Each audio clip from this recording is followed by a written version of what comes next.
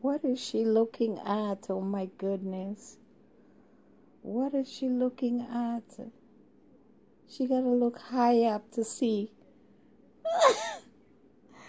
oh, Jesus, my child. Jewel? Jewel?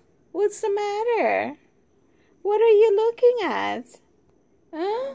Who's out there? What are you looking at? You see something? Huh? Look how tall you are. And what you're looking at, I have no idea. Oh my goodness, look at her. Look at the tail. Tail is going boom, boom, boom, boom. What's the matter? Hmm? You see something outside? Yeah? You see something outside? You enjoyed your dinner? Huh? You had a good dinner? You had good dinner? Wow, Jewel had a good dinner. Now she ready to go and have that dinner digest. Look at all the grooming she's doing here. Wiping her mouth, cleaning her teeth. Mm -mm. Look at all this grooming going on here. Wow, this baby is too much. She loves to watch this window. My God, I don't know if I close this window, what will happen to this child? This poor little kitty cat. This is a window girl. I don't know what is it about this window she likes so much. All day she had this window. From morning, 4 o'clock.